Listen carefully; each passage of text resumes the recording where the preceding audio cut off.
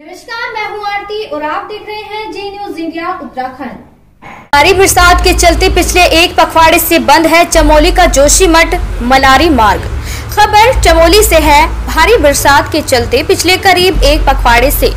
चमोली ज़िले का जोशीमठ नीति, मलारी मार्ग बंद पड़ा है। एसडीआरएफ और एनडीआरएफ के जवानों ने यहाँ पर लोगों और सेना के जवानों को रोप से रेस्क्यू कर आवाजाही करवाने में मदद की।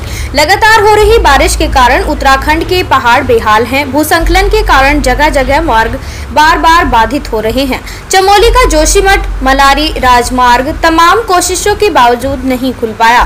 पहले से ही मौसम विभाग ने अगले तीन दिन प्रदेश के ज़्यादातर इलाकों में भारी बारिश की चेतावनी दी है। चमोली में नीति घाटी के लिए हालाँकि प्रशासन का दावा है कि पैदल मार्ग से एसडीआरएफ व एनडीआरएफ की मौजूदगी में ग्रामीणों की पैदल आवाजाही कराई जा रही है। बीते दिन हेलीकॉप्टर से नीति घाटी में एक फार्मासिस्ट के साथ दवाइयाँ भेजी गई हैं।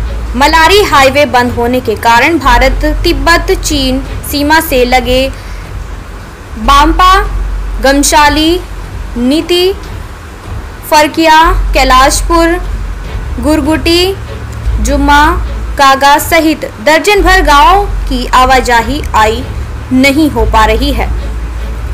और सेना व आईटीबीपी के जवानों की आवाजाही भी ठप पड़ी हुई है।